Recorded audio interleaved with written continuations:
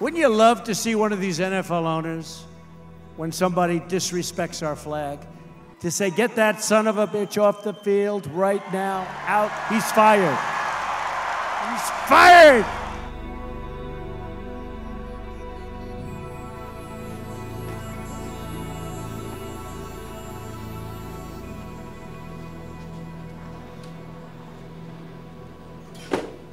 seeing people get killed for no reason, seeing people get treated unfairly. It's power. Like people think they have power over certain people and they feel like they can just treat people any kind of way. And that's not fair.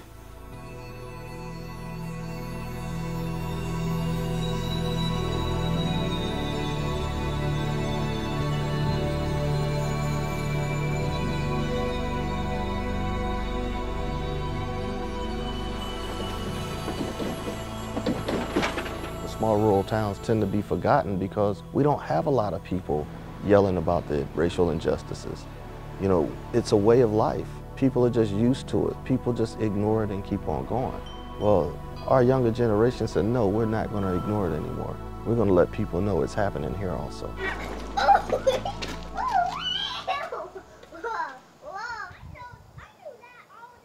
Most people don't think we pay attention, but some kids out there are actually interested in what's going on. Like me, I pay attention to a lot of stuff. Be out there? Uh-huh. Okay, so the kids. U-S, T-A-E-G-S, must say, oh yes, kick, kick, kick, boom, kick, kick, boom.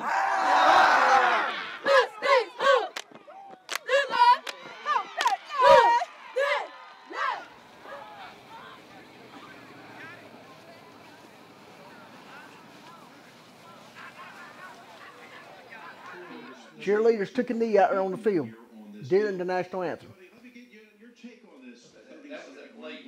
Well, I mean, what's going to be next? It's the national anthem and the flag now. What, what- what's going to be next? If they done it a different way, maybe uh, those people that don't like what they're doing would respect what they're doing.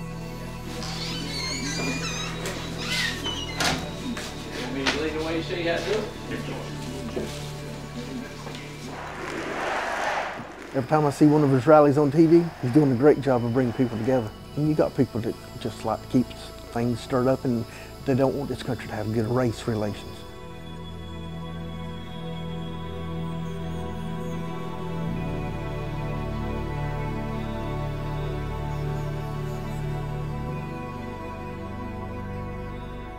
On the football field, we always say the team is only good as the 53rd man. That means your last man on the roster. Take it to this country or this county, you know, you're only as good as, you're only as rich as your poorest city or your poorest town. There's a big difference between the people who have and the people who don't have. There's got to be some kind of way we have to bridge that gap.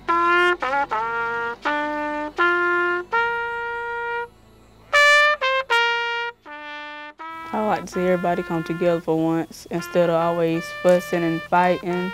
Maybe they actually take in what we're trying to say and listen, and we actually all come together and try and make a difference and starting from here and just work our way up. It's gonna take everybody, but nobody wants to do it. Nobody wants to actually put in the work to get the outcome.